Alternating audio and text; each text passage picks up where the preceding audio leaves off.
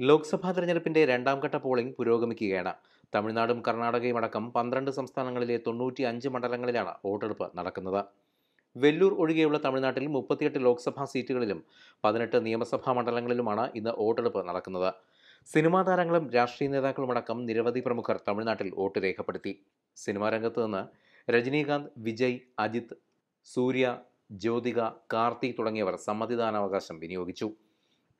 തെന്നിന്ത്യൻ സൂപ്പർ താരം രജനീകാന്ത് രാവിലെ തന്നെ വോട്ട് രേഖപ്പെടുത്തി. ഏഴ് പത്തോടെ ചെന്നൈയിലെ സ്റ്റെല്ല മേരീസ് കോളേജിലെ പോളിംഗ് ബൂത്തിലെത്തിയാണ് രജനീകാന്ത് വോട്ട് രേഖപ്പെടുത്തിയത്. ചെന്നൈ സെൻട്രൽ മണ്ഡലത്തിലെ വോട്ടറാണ് രജനീകാന്ത്.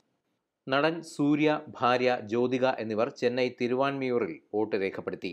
ചെന്നൈ സൗത്ത് മണ്ഡലത്തിലെ വോട്ടർമാരാണ് ഇരുവരും. ചെന്നൈ സെൻട്രൽ വോട്ടറായ ഡി എം കെ വനിതാ നേതാവ് Kanimozhi Chennai S I T കോളനിയിൽ വോട്ട് രേഖപ്പെടുത്തി.